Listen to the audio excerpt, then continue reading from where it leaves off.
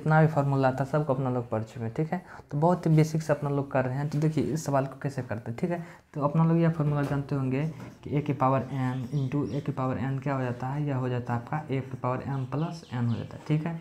तो यही फार्मूला पे यह बेस्ट है, ठीक है? देखिए, यह ए की पावर कितना है? सिक्स है, यहाँ देखिए यहाँ पे ए की जगह कितना है? दो है। एम की जगह कितना है? सिक्स है। यहाँ पे फिर इंटू में है तो देखिए यहाँ पे इंटू में ठीक है?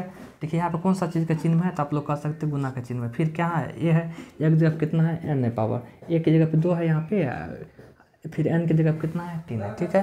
तो आप लोग कह सकते हैं कि यह किस फार्मूला बेस्ट है? ए की पावर एम इंटू ए की पावर एन पे बेस्ट है, ठीक है? तो चलिए, ये माइनस माइनस तो आप लोग का जानते हैं गुना में वो क्या हो जाएगा क्या हो जाएगा?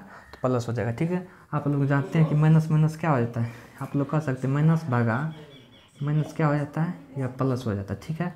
प्लस भागा माइनस क्या हो जाता है आपका? माइनस हो जाता है, ठीक है? इतना ही रखिए, क्योंकि प्लस प्लस जानते हैं आप लोग प्लस ही होता है, ठीक है? प्लस माइनस क्या हो जाता है? माइनस हो जाता है, ठीक है? तो यहाँ पर माइनस इंटू माइनस देखिए, गुना भी कीजिए माइनस गुना माइनस क्या हो जाएगा आपका? यह प्लस हो जाता है, ठीक है? गुना भी कीजिए, भागा भी कीजिए, क्या हो जाएगा? प्लस हो जाएगा, ठीक है? तो देखिए माइनस तो आप लोग कह सकते हैं ये क्या हो जाएगा? ए की पावर ए की पावर एम प्लस एन हो जाएगा, ठीक है? ए की पावर एम इंटू ए की पावर एन की फॉर्मूला पे तो क्या हो जाता है इसके बराबर? ए की पावर एम प्लस एन ठीक है? तो देखिए माइनस माइनस कितना हो जाएगा? आप लोग ये जानते हैं कि प्लस में बदल जाएगा प्लस का चिन्ह लगाना ज़रूरी नहीं रहता है ठीक है?